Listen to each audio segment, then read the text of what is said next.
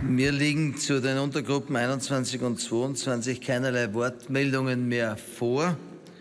Daher sind die Beratungen zu diesem Thema beendet und wir kommen zur Untergliederung 24 Gesundheit. Das waren die Untergruppen Soziales, Pensionsversicherung und Konsumentenschutz und es geht weiter mit der Untergruppe Gesundheit.